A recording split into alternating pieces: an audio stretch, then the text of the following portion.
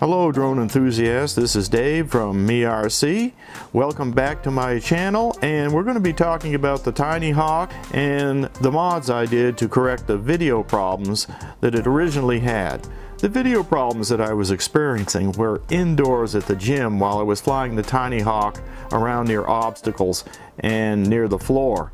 The stock setup had a lot of blocky breakup and some of that was probably caused by reflections and multipathing.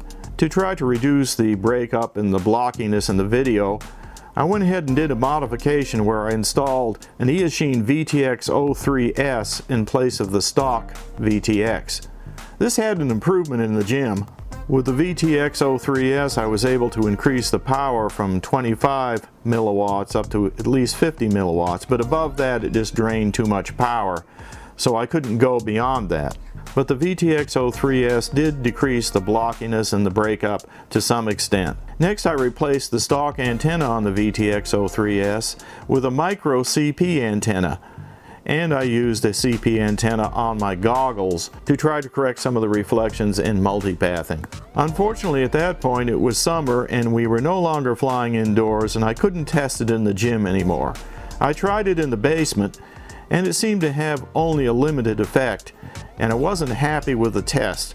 So it's winter now and again we are doing some indoor flying at the gym. So now I can do the comparison with the CP antenna versus the stock antenna on the VTX03S transmitter. So let's take a look at that.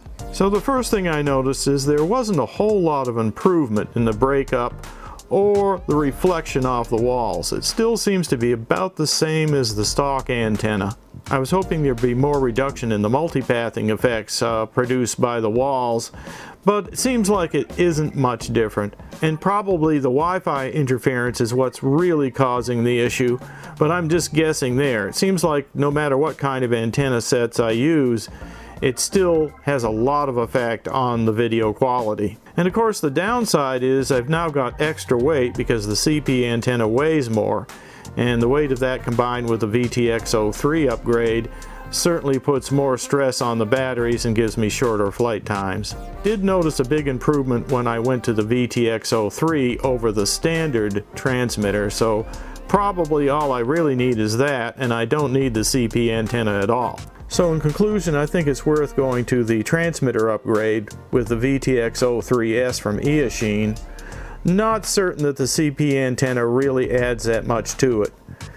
If you just bought your quad, you might want to try just putting the CP antenna on the stock board and just see how it does and if that doesn't work then maybe upgrade to the VTX 03S or some other transmitter that might even be lighter than that because it does add weight. Well that's it for now. Thanks for watching and I hope this helps somebody out there with their Tiny Hawk and don't forget to subscribe if you're not subscribed to my channel and we'll see you next time. Thanks for watching.